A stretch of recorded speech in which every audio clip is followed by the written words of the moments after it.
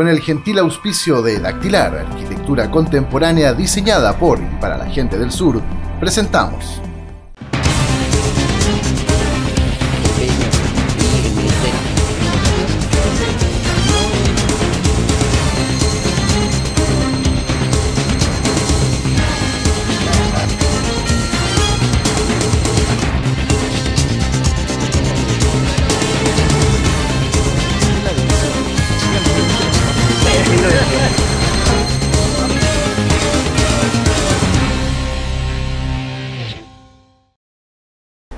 están amigos? Bienvenidos a una nueva edición de nuestro informativo central en Verde Cerca Noticias. Nos vamos de inmediato con la noticia política del día. El cambio de intendentes anunciado por el gobierno central y que se traduce en la salida de Nofal Abud desde la jefatura de la región de los lagos. La soberbia es mala consejera, así comentaba en redes sociales el diputado Fidel Espinosa tras el anuncio de salida del intendente Nofal Abud uno de los cinco jefes regionales que deberá dejar su puesto a partir de mañana martes, después de la determinación del gobierno de anunciar los cambios durante la tarde de este lunes. Opiniones a favor y en contra del ahora ex jefe regional, así como comentarios sobre el nuevo intendente de los lagos, se dejaron sentir en Twitter y otras redes sociales, una vez conocida la decisión de la presidenta. En reemplazo de Abud vuelve un viejo conocido de las estructuras políticas regionales, el ex Ceremi de Bienes Nacionales durante el gobierno de Ricardo Lagos, el geógrafo Nelson Bustos, quien asumiría el control del gobierno regional durante este martes. Tras la salida de Abud, es preciso indicar que la jefatura regional seguirá en manos del PPD, mismo partido al que pertenece Nelson Bustos. El alcalde Gerboy Paredes descartó que el municipio pueda quedarse con el Arena Puerto Montt, simplemente dando término a la concesión por incumplimientos registrados. Mañana se decide si se destinarán los 1.200 millones para hacerse dueños del recinto. Hoy fue la entrega de recursos para distintas organizaciones comunitarias de Puerto Montt y mañana martes el Consejo Municipal deberá debatir una propuesta para que la municipalidad se apropie del Arena Puerto Montt pagando 1.200 millones de pesos. Hay dudas de cuánto ha invertido realmente el concesionario en el inmueble, construido en un terreno que era del ejército y donde el gobierno regional puso 3.600 millones de pesos. El alcalde de Puerto Montino sostiene que efectivamente las deudas con tesorería son algo que se debe sanear antes de hacer la transacción hay que sanear todo, absolutamente todo. O sea, nosotros no podemos, eh, no podemos hacer ningún trato si ellos no, tienen saneado o por lo menos tienen algún convenio.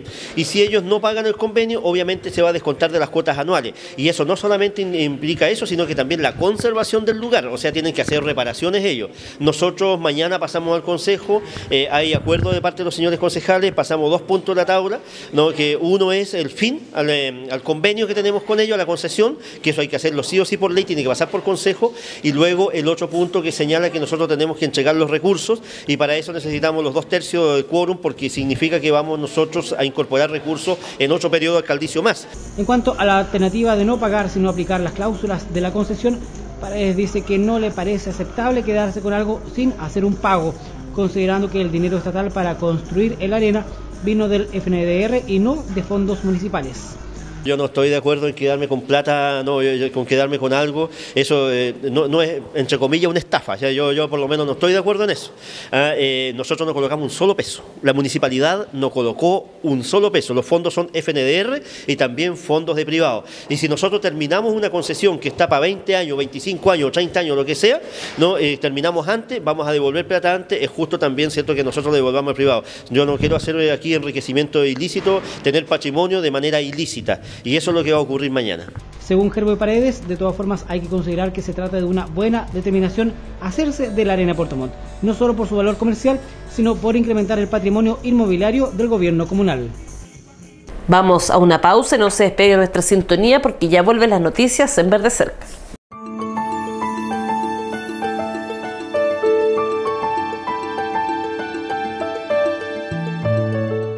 Dactilar Arquitectura es diseño y construcción en armonía con el entorno. Arquitectura contemporánea creada por y para la gente del sur. En cada proyecto, una mirada inteligente para conectar tus sueños con nuestras ideas. Descubre más en www.dactilar.cl. Miles de personas hacen compras cada día en panaderías, supermercados, tiendas y otros establecimientos. Publi es una bolsa de papel biodegradable que sirve como medio publicitario, que se entrega de manera gratuita en todos los establecimientos, que a su vez entregan la bolsa de manera directa a sus clientes. Es por eso que Publi es la mejor forma de llegar a miles de personas. Publi es un medio de alto impacto visual. Tú eliges el alcance. Puedes invertir por zonas y en diferentes formatos de anuncio. Queremos aportar al mundo con una opción biodegradable, con bolsas hechas de papel que provienen de bosques sostenibles. Esta es la mejor forma de hacer publicidad y hacerle bien a nuestro planeta. Publi pone las marcas sobre la mesa. Somos el soporte número uno en el mundo en branding de bolsas ecológicas. Publi es una marca de Publi Ideas. www.publipan.cl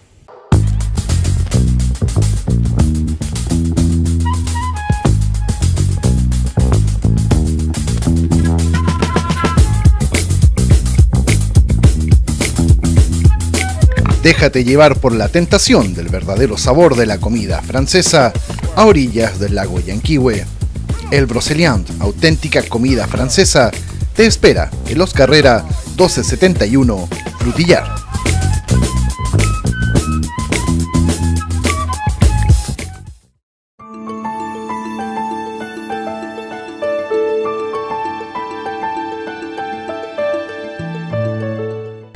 Fin de semana el Colegio de Periodistas celebró un nuevo aniversario, ocasión en la que los profesionales de las comunicaciones de la región de los lagos compartieron con una destacada figura de los medios nacionales, la purranquina Scarlett Cárdenas. 59 años de vida y un nuevo aniversario este fin de semana para el Colegio de Periodistas de Chile, dirigido en la décima región sur por Melisa Valenzuela y que reunió a profesionales y trabajadores de las comunicaciones en el Salón Azul de la Intendencia Regional para compartir miradas y experiencias y analizar la historia, escenario actual y futuro del periodismo junto a la purranquina Scarlett Cárdenas quien analizó su paso por TVN y su nuevo rol como rostro de los canales regionales agrupados en Arcatel. En los tiempos que corren el rol del periodista creo yo toma más relevancia. La política está viviendo un momento difícil, una crisis de credibilidad, pero a mí me parece que es una gran oportunidad, una gran oportunidad de destapar cosas que nosotros pensábamos que estaban escondidas y tranquilitas debajo de la alfombra, que olían bastante mal. Gracias a algunos periodistas podemos conocer esa realidad pero me parece que la invitación no solo para la prensa, sino también para la política y los políticos de hoy, a, ofrecer de esta y a convertir de esta crisis una oportunidad, a cambiar el rumbo, a enmendarlo. A los políticos a empezar a hacer las cosas bien de cara a la gente, no solo recorrer las casas buscando votos, sino que después a empezar a cumplir. Y para los periodistas, a no olvidar que Chile son 17 millones de personas. A Chile lo construimos todos, no solo los que viven en Santiago, 6 millones de personas. Nuestros sueños, nuestras metas, nuestro trabajo está también en las regiones. Y mi llamado es a los medios de comunicación y a los periodistas a respetar esa realidad, a hacer periodismo también desde sus regiones, con todas las dificultades que eso trae. Pero la diferencia entre un buen y un mal periodista no lo hace una cámara, un micrófono más, un micrófono menos. Lo hace el compromiso, la camiseta, la inteligencia que ponemos y el respeto por sobre todo. Desde el gobierno eh, tenemos palabras de agradecimiento, de reconocimiento y obviamente de desafíos eh, conjuntos para seguir fortaleciendo las comunicaciones que generen democracia, que fortalezcan la participación y obviamente que vayan construyendo territorio a partir de las capacidades y los talentos y los derechos y deberes de las personas. En ese sentido, este encuentro que hemos realizado hoy con el Colegio de Periodistas, eh, también con la ARCHI, eh, y con la invitada especial Scarlett Cárdenas nos permite seguir profundizando los necesarios análisis y debates que tenemos que tener para ir mejorando las comunicaciones en favor de la gente. La ocasión sirvió además para reconocer el trabajo de la emblemática periodista local Betty Rivera, de amplia trayectoria y gran legado para las nuevas generaciones, quien compartió su experiencia con los asistentes llegados desde distintos sectores y localidades de la región de los lagos. Nos vamos ahora hasta Puerto Varas para repasar información local enviada por el Departamento de Prensa del municipio local. El pasado día sábado, el alcalde de Puerto Varas, don Álvaro Berger, junto al concejal Héctor Jacob y parte del equipo municipal, se desplazó hasta el sector 4 de septiembre, uno de los lugares más afectados por la pasada erupción del volcán Calbuco, para entregar, una vez más, importante ayuda, en este caso puntual, alimentos para el ganado. Los vecinos, agradecidos de la gestión del alcalde Álvaro Berger por esta importante ayuda, así se manifestaron. Eh, queremos surgir nosotros acá, queremos surgir, queremos que el 4 de septiembre se salga adelante, porque mucha familia con lo del volcán emigró y estamos nosotros aquí haciendo patria, así que queremos salir adelante. Para nosotros una tremenda ayuda porque como no en este momento, como usted lo ve aquí en el barro, no tenemos de qué para nosotros ni para los animales. Sí, pues así que muy agradecido igual por el alcalde, lo que está haciendo para la gente del campo. Yo pienso que es una tremenda ayuda y, contenta, pues muy contenta por lo que están haciendo. Este tiempo, a pleno invierno, imagínense, para darle a los animales es una tremenda ayuda. Y estamos agradecidos de, ese poco, por, pasamos todo este mes ya pues, con eso, el otro mes ya salimos ya al invierno. Nosotros en este momento no teníamos talaje, como ustedes ven, que no hay pasto porque la helada se secó todo, y más encima, eh, antes sí podríamos nosotros comprarlo, pero ahora no podemos porque no tenemos eh, una labor de trabajo. Aquí no hay trabajo ahora en este momento. Así que nosotros estamos muy contentos porque la, municipalidad, señor alcalde, que vinieron a entregar todos estos materiales para nosotros fue importante porque tenemos más o menos como para costear nuestros animales un par de tiempo. Según más allá dice que nos vuelven a ayudar otro poco, sería, para nosotros estaríamos muy contentos con eso porque la verdad para nosotros, le digo, estamos muy contentos hoy día. Porque con esto, mire que usted puede ver, que la gente todo el día se motivó para venirlo a recibir, entonces es importante. Y eso, y eso para, para mí, es como, como presidente, nuevamente que estoy aquí en este lugar, es una labor porque la gente puede darse cuenta que nosotros estamos haciendo algo para, la comunidad y el, alcalde a nosotros lo, lo, pudo atender y lo pudo felicitar esto. Yo creo que no hay qué más decir, porque estamos agradecidos porque ya como se dicen las cosas cuando se piden y lo escuchan a uno, uno se siente bien. Lo propio hizo el concejal de la comuna Héctor Jacob, quien también agradeció la oportunidad de poder colaborar, principalmente con los vecinos de los sectores rurales de la comuna, en este caso puntual, el sector 4 de septiembre. Lo principal es estar con la gente, porque no solamente es la ayuda que está entregando la municipalidad en, e, este tema puntual, que es una ayuda para los animales de acá del sector, sino que también es posible encontrarse con otras problemáticas que tiene y que son el resorte de la municipalidad poder resolver o poder llegar a hacer un trámite para darles a los vecinos tranquilidad. Tenemos el aspecto que ellos no pueden sacar leña, tenemos el aspecto de los invernaderos que estén un poco atrasados y que están paralizados, tenemos otras organizaciones comunitarias que necesitan ayuda y que necesitan desarrollo también. Lo importante de esto es haber estado acá con ellos, compartiendo y también entregándoles solución a los problemas. De esta forma se cumple una vez más con la importante misión que tiene como política de trabajo el alcalde de Puerto Varas, Álvaro Berger, de estar precisamente con la comunidad más afectada, en este caso puntual con la gente del mundo rural. Un sector que hace tiempo atrás era un, pequeño villorrio que hoy día ha ido creciendo y que tenían justamente las necesidades correspondientes al respecto de poder contar hoy día, especialmente con el tema de alimento para los animales. Todo es que ellos también, de cierta manera, se vieron eh, perjudicados producto de la crisis que mantuvo el volcán, era necesario hoy día estar presente con ellos, traerle las ayudas correspondientes, ir trabajando en otras materias, ver algunos matices que tenemos que ir abordando, como el tema del agua potable, el tema de la conectividad, eh, y además de eso también poder ver algunas soluciones, en este caso la Junta de Vecinos, y poder ver incluso si es que el próximo año podemos reactivar en este sector lo que es la escuela que hace 15 años ha estado olvidada y abandonada. Así que tenemos un par de motivaciones, nuestros méritos que tenemos ganas de trabajar con el equipo municipal, desarrollar esas funciones, así que vamos a seguir avanzando y desarrollando diferentes temáticas para ir eh, dando solución a las problemáticas que tenemos en este sector. Con nuevas dependencias cuenta el FOSIS en Puerto Montt, luego de inaugurar el recinto que ocupan justo al costado superior del gimnasio fiscal de la calle Lota. Se inauguraron ya las nuevas dependencias del Fondo de Solidaridad e Inversión Social FOSIS en Puerto Montt, luego de haber estado ubicada la institución en espacios que no siempre eran aptos para acoger a sus beneficiarios. El objetivo es trabajar en un espacio de fácil ubicación y con mayor comodidad para los usuarios y los funcionarios. Hoy día FOSE creció mucho, somos cerca de 90 funcionarios de la región, acá cerca de 60 en, en, la provincia de Yanquihue, así que es muy importante esto, porque nos permite, y el compromiso que yo tuve como, como asumí como director, mejorar las condiciones laborales para que los funcionarios del FOSI puedan hacer mejor el trabajo. Y hoy día estoy cumpliendo con esa palabra empeñada, hoy día no hemos cambiado, eh, es, insisto, un edificio muy lindo, una oficina muy linda, así que pletórico, contento. Esto se marca en un nuevo enfoque de la institución que en sus 25 años ya concentra la información pública relacionada con el combate a la pobreza. Estamos convencidísimos que somos nosotros el servicio público especializado en pobreza y que estamos convencidos con eso. Es por eso que, insisto, no es chiquitita o no es pequeña la, la misión institucional que tenemos, la visión institucional un país sin pobreza y como misión ser líderes en la región eh, a través de estas estrategias ubicando la innovación social que es lo que estamos haciendo. El nuevo edificio del Fondo de Solidaridad e Inversión Social FOSIS se ubica en calle Helen justo frente al gimnasio municipal Mario Marchand Binder. Vamos a nuestra segunda pausa y vuelven las noticias en Verde Cerca. No se vaya.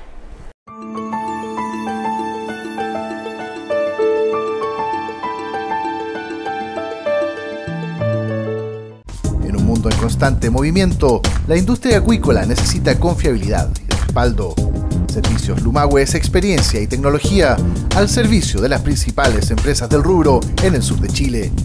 Años de trayectoria que entregan la confianza que la salmonicultura necesita para lograr metas y cumplir con los desafíos de un mercado cada vez más exigente. Limpieza y desinfección, baño de peces, mantención de estructuras y apoyo a faenas productivas son solo algunos de nuestros servicios. Te invitamos a conocer más en www.servicioslumahue.cl. Miles de personas hacen compras cada día en panaderías, supermercados, tiendas y otros establecimientos. Publi es una bolsa de papel biodegradable que sirve como medio publicitario, que se entrega de manera gratuita en todos los establecimientos, que a su vez entregan la bolsa de manera directa a sus clientes. Es por eso que Publi es la mejor forma de llegar a miles de personas. Publi es un medio de alto impacto visual. Tú eliges el alcance. Puedes invertir por zonas y en diferentes formatos de anuncio.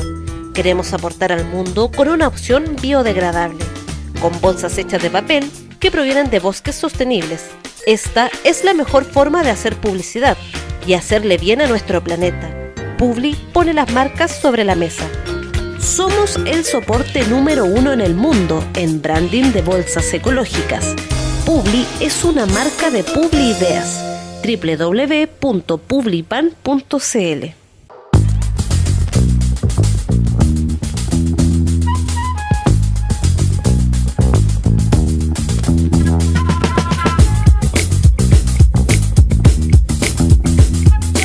Déjate llevar por la tentación del verdadero sabor de la comida francesa a orillas del lago Yanquihue. El Broceliant, auténtica comida francesa, te espera en Los Carrera 1271 Frutillar.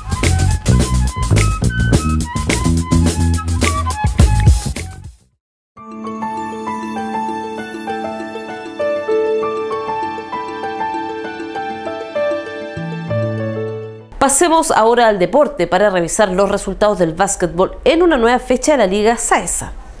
Jornada de clásicos esteros en la Liga Saesa durante este fin de semana y en ese contexto una fecha sin contratiempos para el Club Social y Deportivo Puerto Varas, que literalmente aplastó al CEP Puerto Montt por 117 a 84, haciendo gala de una generosa banca y rotando sin contratiempos a sus principales figuras en el Coliseo Municipal Lacustre. Problema sin solución para los puertomontinos que sin algunos de sus jugadores más fuertes poco pudieron hacer para resolver el esquema planteado por los locales. En el papel a lo mejor Puerto Montt eh, era un poco menos que nosotros, tenía eh, ausencias importantes, sobre todo los hombres altos de ellos, eh, pero teníamos que tomar también el partido con responsabilidad, tratar de hacer nuestro juego, afiatarnos, ir afiatándonos como dices tú, más como equipo y, y sacar una diferencia importante en el marcador. gracias a Dios lo pudimos lograr en el primer cuarto y en los otros tres restantes ya se marcó la tónica y pudimos mantener una diferencia importante.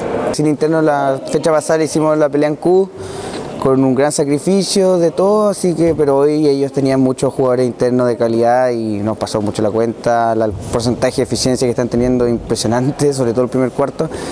Así que a levantar la cabeza, sin un partido difícil la otra semana con Alemania y hay que jugarlo igual. En otros resultados de la fecha, triunfo para Ancud en el clásico Chilote, tras un apretado partido frente a Castro, jugado ante 1.500 espectadores que presenciaron un apretado match de principio a fin, pero que finalmente fue para los del Pudeto por 67 a 61. En Valdivia, en tanto, triunfo para los locales frente a las Ánimas en el clásico del Calle Calle, mientras que Español de Osorno no tuvo problemas para derrotar a Colegio Alemán de Puerto Varas por 86 a 67, quedándose de paso tras la derrota de Castro como puntero exclusivo del torneo. Nos vamos hasta Chiloé para conocer nuevos antecedentes de la Fiscalía en el incendio que afectó a la feria de Ancud a la espera de los resultados de pericias encargadas tanto a efectivos de la Policía de Investigaciones como así también el informe que deberá evacuar bomberos de Ancudo se encuentra el Ministerio Público de esta comuna para encauzar eventualmente una investigación formalizada en contra de quienes resulten responsables por el incendio que los pasados días afectó al recinto de la Feria Rural Municipal de la comuna de Ancudo. A juicio del fiscal jefe de esta ciudad, Jorge Radatz, existen elementos también audiovisuales complementarios al trabajo de investigación que podrían encauzar la investigación en contra al menos de una persona que aparece en las imágenes y quien hoy por hoy es investigado como sospechoso del hecho. Bueno, estoy a la espera del informe definitivo de la Policía de Investigaciones y también estoy a la espera del informe químico de bomberos y de la Laboratorio de, Investigaciones de Puerto Montt para establecer eh, a ciencia cierta eh, la intencionalidad del incendio. Estamos revisando las cámaras de seguridad donde efectivamente hay una persona eh, que en este momento tiene carácter sospechosa, que la estamos identificando con la Policía de Investigaciones y esperamos que ya dentro de las próximas semanas tengamos la claridad respecto de la causal del incendio y también la identificación de estas personas sospechosas. Hasta aquí la investigación se encuentra en una etapa no formalizada. Esto porque serán necesarios los informes periciales independientes de la existencia de un registro audiovisual captada por una de las cámaras del recinto siniestrado. Primero, eh, para establecer efectivamente la, eh, la intencionalidad, eh, quiero tener claridad respecto de la causal del incendio. ¿Ya? Eh, pero sí, efectivamente hay una persona eh, que estamos determinando su identidad, eh, que al parecer se trataría de un menor de edad, pero quiero en definitiva que la Policía de Investigaciones lo me entregue el informe definitivo. Solo una vez que se tengan los antecedentes concluyentes de los peritajes encargados, además de la información complementaria entregada en el registro audiovisual, será posible establecer el curso de la investigación en su etapa eventual de formalización, esto en el transcurso de las próximas semanas, acotó el fiscal jefe de la comuna de Ancud. En el plano nacional, la Seguridad Ciudadana convoca ahora a diputados de distintos partidos que conforman una bancada para abordar este tema. La nota de nuestro medio asociado CNN Chile. Primero fue este cacerolazo en el sector oriente de Santiago. Luego el gobierno. Esto estaba programado con mucha anticipación. Y ahora los parlamentarios que buscan participar en la agenda corta antidelincuencia. Nosotros vamos a apoyar al ministro Burgo, que claramente tiene una diferencia con el ministro Peñalillo. Este tema para él es prioritario. Propuesta del Ejecutivo que es discutida luego de que la Fundación Paz Ciudadana informara de un máximo histórico de hogares víctimas de robo o intento de robos. Por esto, diputados del ADC, el PPD y RN formaron una bancada transversal por la seguridad ciudadana instancia que tiene como objetivo plantear una serie de elementos centrales al proyecto, como el control preventivo de identidad, entre otros. Queremos mayores facultades a carabineros, rendición de cuentas también de nuestras policías en materia de resultados eh, policiales concretos, mayores recursos para el eh, Sename en lo que se refiere en lo que se refiere a jóvenes y reinserción. Independientemente de cuál sea el delito y cuáles sean las penas alternativas y la intachable conducta anterior, al cometer un delito por tercera vez las personas se vean efectivamente eh, obligadas a cumplir penas aflictivas. Según Carabineros, los delitos violentos en la región metropolitana aumentaron 0,3% en comparación a 2014. Sin embargo, hay opiniones divididas respecto a si el camino para resolver esta problemática es aumentar las sanciones. Hay que cambiar el foco del discurso. El foco del discurso es más prevención, más rehabilitación y no más sanción. Las sociedades más justas y democráticas son las que se preocupan de establecer un mínimo de equilibrio social, que es el que de verdad permite controlar el delito. Hay delitos que necesariamente requieren de un delicimiento de pena. Nosotros rebajamos la pena del hurto, nos olvidamos todos.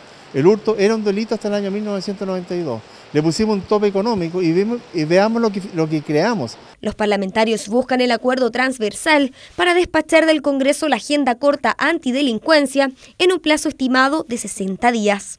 Gabriela Segura, CNN Chile. Antes de despedirnos pasamos a revisar imágenes de lo que fue el inusual fenómeno climático que afectó esta mañana a la cuenca del lago Yanquihue con intensas nevadas que cubrieron de blanco a Puerto Varas y otras localidades, generando además accidentes y problemas de tránsito. Por su atención, gracias y hasta pronto.